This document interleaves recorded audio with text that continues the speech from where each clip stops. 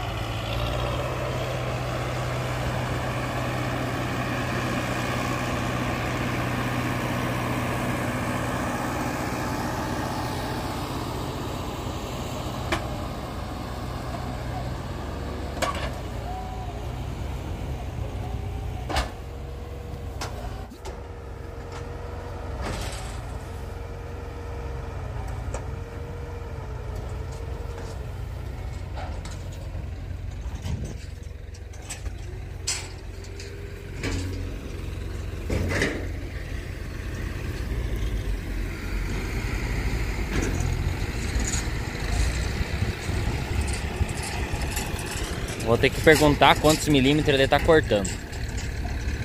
Aí eu falo no vídeo, depois. Na hora que eu entrar de novo na, da gabine do trator.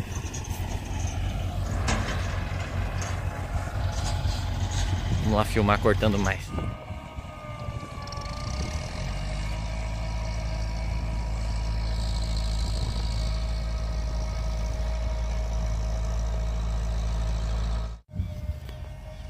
Olha aqui dá pra ver bem a largura que a ensiladeira pega. Mais ou menos uns 75, 80 centímetros. Aí até que rende o corte. Tem umas varetas aqui no meio dessa lavoura. A água correu. Aí não dá pra andar muito rápido. Mas se fosse bem lisinha a terra, dava pra correr bastante. Só que tem um limite de velocidade por causa dos rolos que a ensiladeira engole o trigo para manter o corte. O que faz o corte na ensiladeira é a velocidade que joga o capim para dentro ou o milho. É os rolos que puxa que muda a velocidade. Velocidade das facas lá dentro sempre a mesma. E aí muda a velocidade dos rolos engolir o material. Aí muda o tamanho do corte. E aí por isso que tem um limite de velocidade também. Porque se começar a andar muito rápido, o rolo não vem seguro e começa a mastigar e deixar no chão, começa a fazer bucha. E aí é só cagada. Fica bem pouco, não fica nada para trás, ó. fica bem bonitinho o corte. Nós vamos fazer silagem de pasto, de triticário, agora nesse próximo inverno. Uma boa parte. Como eu falei na introdução, esse trigo foi plantado para colher grão. Mas não está valendo a pena colher esse trigo aqui, até porque ele não vai dar uma produção muito boa. Não vai pagar nem a colheita, pela estimativa aqui que o dono achou da lavoura. Então ele resolveu cortar para as vacas. É uma alternativa de alimentação para diminuir o custo também lá das vacas e diminuir o consumo de silagem, porque o preço do leite também não está bom. Então foi uma opção que ele encontrou. Eu acho que é uma boa opção Eu achava que o trigo fazia mal para as vacas devido a uma fervinha que ele tem. Mas conversando com o veterinário que atende o reprodutivo nosso, ele disse que não tem nenhum estudo científico provando que faz mal ou que não faz mal. Então depende do produtor. Ele me falou que com a silagem, se misturar com a silagem de milho, por exemplo, a proporção meio a meio, no máximo, não vai fazer mal, porque vai se diluir na, na silagem de milho. Aí ele disse que o triticale também tem ferpa e é a nossa opção de fazer silagem de pasto ano que vem. Então vai muito da estratégia de cada produtor. É, como não tem estudo científico provando que faz mal, provavelmente são casos bem pontuais que vai fazer mal para as vacas. Levando isso em consideração, eu acho que foi uma boa ideia fazer cortar isso daqui para os animais, para diminuir o custo. Nós iríamos fazer isso com o nosso trigo também esse ano, mas devido a uma série de coisas a gente resolveu não fazer. Teríamos economizado o dinheiro da colheita se tivéssemos feito e não precisaríamos comprar feno para as vacas. Provavelmente isso aqui está sendo cortado de 9 milímetros, porque a nossa ensiladeira, se não tirar nenhuma das facas, que ela tem 12 facas, o corte mais grande que ela faz é de 9 milímetros. Aí tem que tirar mais facas para fazer o corte maior. Nesse inverno nós vamos fazer silagem de triticale para nós. E nós vamos tirar, deixar provavelmente só quatro facas. Eu quero cortar aí entre 16 até 22 milímetros isso. Se a ensiladeira conseguir puxar e jogar fora. No corte de 9 milímetros aqui ele está vencendo jogar bem fora, como vocês viram aí no comecinho. Vou filmar umas outras partes para ficar melhor para vocês verem. Mas está ficando bom, está ficando muito bom esse serviço. Eu não achei que ficava tão bom assim. Vou filmar mais agora aqui o trigo para vocês. Essa seria a explicação mais técnica. O porquê fazer ou não fazer e qual motivo essa lavoura está sendo moída para silagem. Esse trigo aqui está com o mesmo problema do nosso. Cacho pequenininho, grão fininho, grão oco. Isso aqui metade é palha. Não tem nada praticamente de grão. Esse ano a maioria dos trigos aqui na nossa região não encheu o grão. Complicado isso aí, bem complicado. Mas é o que tem. E ele tá baixinho também. Então não tá rendendo muito no volume. O ponto que ele tá fazendo silagem, tipo esse caixinho aqui já tá praticamente todos os grãos farináceos. Ela tá desfocando a câmera. Mas esse aqui ainda tá leitoso, esses mais verdes. Então vai dar uma média boa, tá bem no ponto fazer. Tem um pouco de azevém no meio, Toda lavoura de trigo tem azevém. Difícil a lavoura de trigo que não tem esses azevém resistentes a herbicida. Subir ali. O que aconteceu que ele tá virando cano.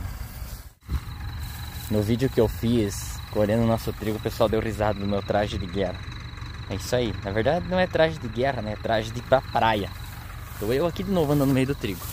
Hoje não está tão quente, está 25 graus, clima meio nublado meu irmão apurando aqui para terminar esse serviço antes da chuva. Para quem não conhece, esse é o nosso trator 4292 Extra, tá mais ou menos com entre 110 e 115 CVs de potência. Foi mexido nele um pouco. Nossa ensiladeira é uma C120 com área total de 80 centímetros. Embuchou? Embuchou?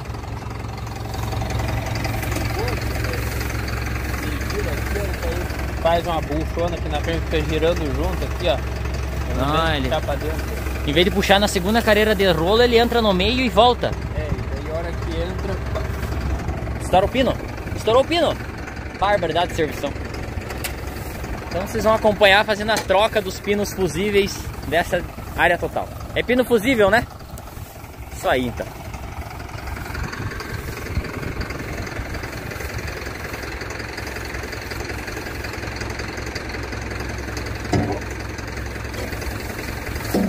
Aí a pedra para afiar as facas.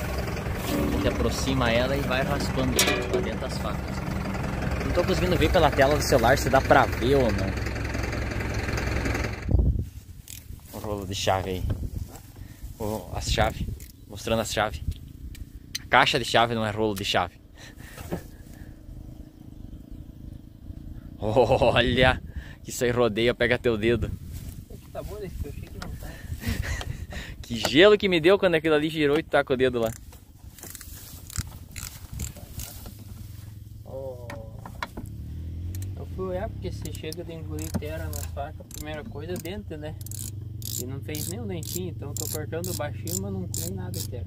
É, eu tava olhando, tem poucos lugares raspando o esqui no chão. Ela tá raspando porque desregulou os braços. Ela saiu de nível daí. Mas raspou só nas valetas, né? Onde que é que quebra, Rodrigo? Foi a graxa. É. Ah, tem que tirar as engrenagens. Tá querendo esse ali ou no de trás? Eu não sei, é sempre de trás que quebra. É sempre na maior que faz mais força, né? Que cachorro do trigalo, hein? Tá feio igual o nosso. Esse ano não tem trigo, né?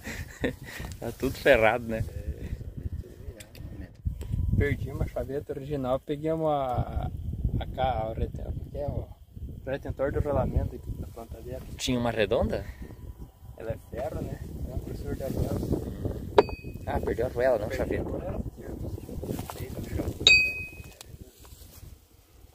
show. Ah, esse aqui é o pino fusível que quebrou, Meu né? Deus, não, esse aqui tá inteiro, que quebrou foi essa. Ah, tá, tá solto. Duas. Aqui, olha, ele quebra, ó. Sempre, sempre a mais grande. Fica ali dentro do buraquinho, não sei se dá pra ver aí. Ali fica solto, ó. Não podia estar solto. Nossa, tá fer, tá pegando fogo esse eixo aí. Ele esquiva, né? Imagina. Que não dá, né? Tudo entupido. No Beto, eu esqueci até de fechar isso aqui, ó. Essa caixa aqui, de tanto que nós abrimos e fechamos. Mas é por causa de. Entope por causa. Por causa de velocidade, Rodrigo, que entope? Não, volume. Entra muito volume e ele não. Não esse- gira? Esses rolos aqui, ele, ele tem que jogar lá naquelas, naqueles rolos lá atrás, né? Sim, os dois de trás aqui. entra muito volume, ele começa lá dentro, em vez de ele entrar meio reto, ele começa a fazer assim, né? Aham. Já embucha. que é assim, quando é, é pouco volume, tu entrar em baixa rotação, é pouco volume, ele vem se jogar daqui pra cá, os de dentro pegam, a hora que limpar vai ver. E daí, como eu tava andando ligeiro, tem que lá na rotação alta pra vencer jogar.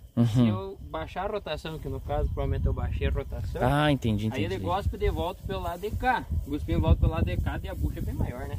Daí entope. Daí quebra. Essa bosta.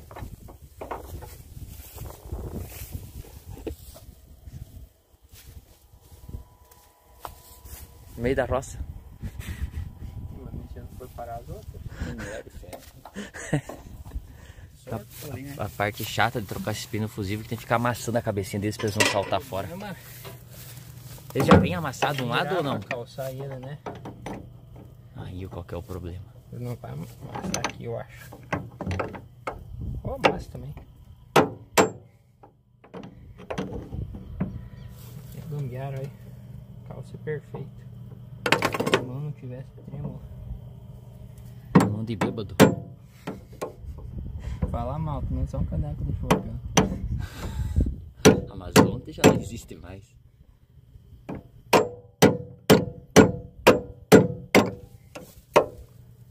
Arrancar fora. Ai, que deu.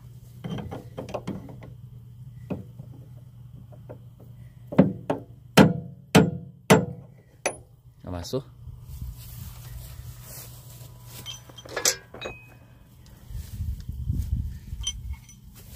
Minha martelo. Ah, aqui ó, o pino, o pino fusível. o pino fusível aqui, ó. Pronto pra cair dentro das facas. Aí, aí dá pra ver agora. Vamos tirar ele já. Pronto. Não, mas ele só ia cair lá e sair voando. É, mas se ele podia quebrar uma faca, não cair. Podia, né, imprensar. Na contrafaca. Agora essa parte vai demorar meia hora esse dia, né? E num solão de 40 graus, né? Ó, pra desembuchar só assim, ó. Nosso trator não toca de ré. A tomada de força.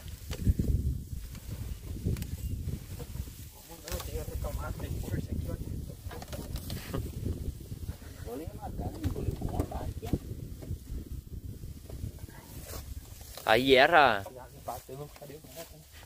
Daí era a hélice, enfia a mão na ponta da faca. Ó, isso aqui é afiado igual uma faca de verdade, cara.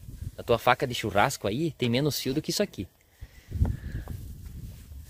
Ainda mais se eu é meio preguiçoso para afiar faca. É bom para fatiar pão, né? É só jogar o pão aí dentro e pegar no cano lá atrás.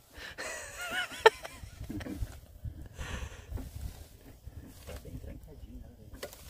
Um bodocudo, largaram um pouquinho lá. Mas tá mais leve que outro dia. Outro dia tá. Tentar desembuchar que não desembuchou direito ainda.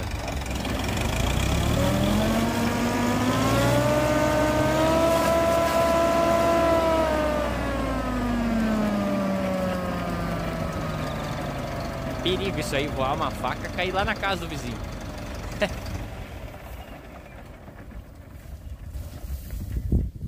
Aí no celular ficou como se tivesse parado ali por causa da captura de frame, mas pense a velocidade que pega. Afiar a máquina agora.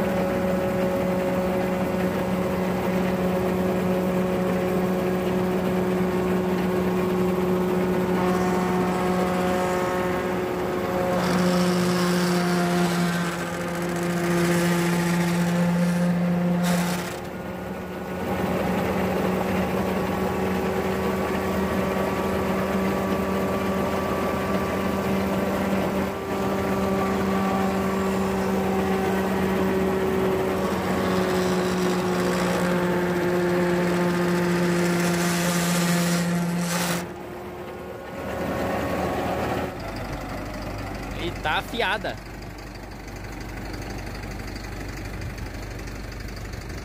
Tem uma diferença na angulação, por isso que a gente tem que ficar levando a pedra e apertando conforme vai afiando. Você vai apertando aquela rosca ali. Se pegar e querer deixar as facas retas, gasta tudo, não encaixa na contrafaca depois. E não pega as pontas da faca direito. E daí fica uma ponta da faca e não pega. De vez em quando tu tira e de vez em quando tu tira as facas e, e tira as pontas, né? Pra poder cortar direito.